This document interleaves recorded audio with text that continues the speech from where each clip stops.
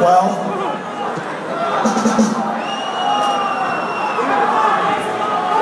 I want to see everybody out there who's not slamming in the fucking pit. All you people out the outside there and in the back and in the front row.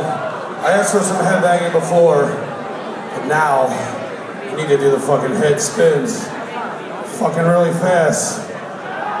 Really fast. Try to keep up with me. You will fail, but you can still try. This is about shooting blood from your cock.